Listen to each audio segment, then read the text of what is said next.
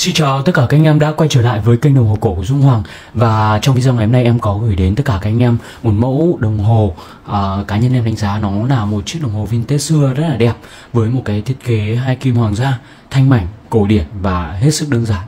Và chiếc đồng hồ này thì anh em nào mà đang muốn tìm cho mình à, một bản đồng hồ uh, đeo cái dáng công sở thanh lịch mà nhất là anh em văn phòng đeo những bản đồng hồ này rất là đẹp anh em ạ. Thì hãy đừng bỏ lỡ uh, chiếc đồng hồ này. Uh, giá của nó cực kỳ hợp lý anh em ạ. Uh, chính hãng đồng hồ thụy sĩ anh em nhé và zin nguyên bản 100% đó và anh em cùng uh, chiêm ngưỡng tổng thể của chiếc đồng hồ này.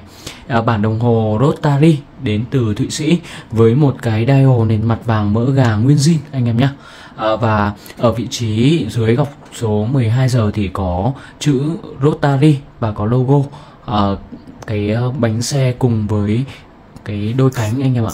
Và bản đồng hồ này chạy với bộ máy cơ cót lên dây em lên cót và uh, chỉnh giờ của chiếc đồng hồ này rất là dễ sử dụng thôi. Và bản đồng hồ này thì có một cái lịch ở vị trí uh, lịch ở góc 6 giờ người ta gọi là lịch lộc anh em ạ. Sợi dây em kết hợp là một sợi dây da bò vintage anh em nhé. Và bản đồng hồ à, Rotary này thì uh, có một cái size mặt chuẩn size vintage xưa anh em nhé. Size à, uh, 33.5mm mỏng nó khoảng 7mm anh em ạ.